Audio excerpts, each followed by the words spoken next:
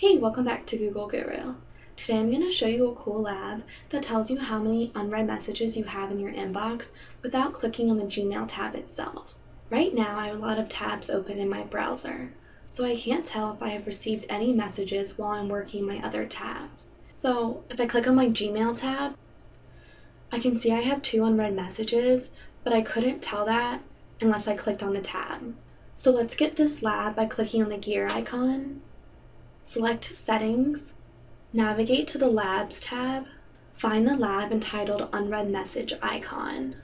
Should be towards the bottom. Enable it, and then save changes.